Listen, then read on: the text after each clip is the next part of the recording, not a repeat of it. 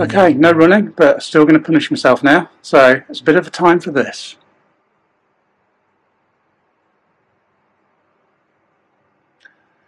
Yep, FTP test. Not done one for a while. Let's see. The legs really don't feel like it. I've just done 15 minutes to get loosened up. So basically this test ramps up every minute with the power increasing and they'll take an average and then work out your FTP at the end. So first up, five minute warm up and then we'll get into it.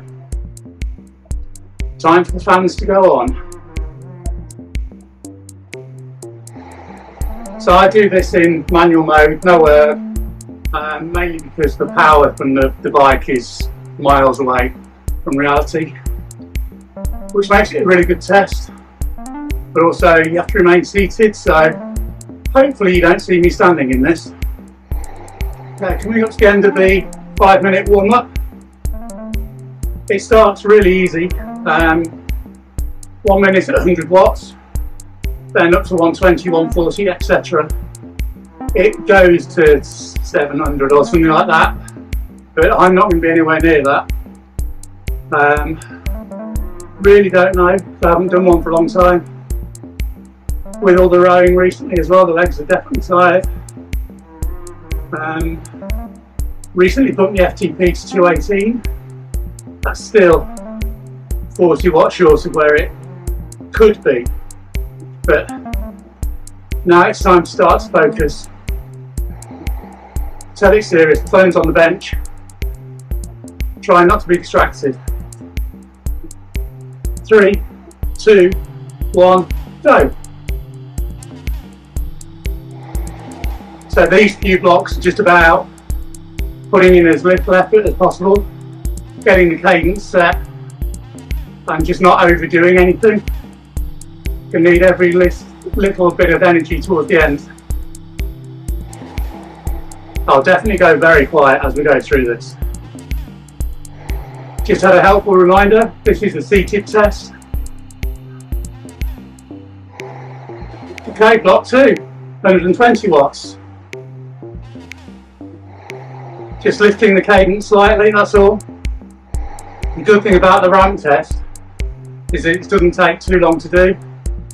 You can fit it in quite easily.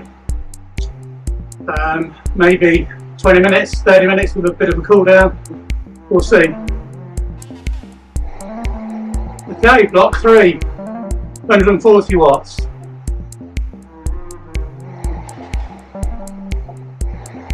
Okay, block four, 160 watts. So just really using cadence at the minute just to lift it up. Yeah, helpful message from Zwift. This test will go from I'm fine to I'm toast pretty quick. I know that. Done them before. They hurt.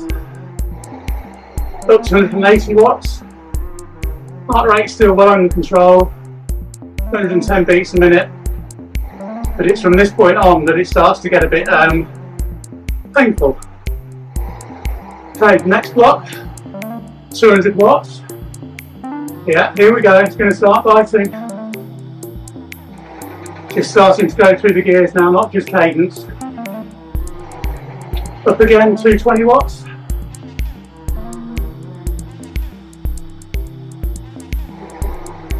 Up again, 240. Garmin performance condition plus four, very generous. 260 watts. Now the talking is going to stop. 280.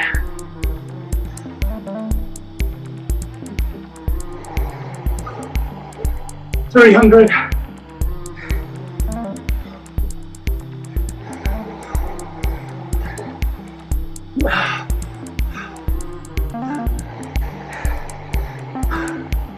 320. I'm dying.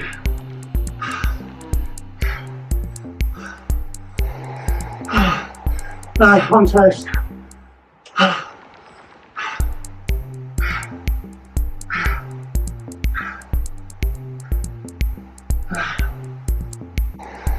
Okay.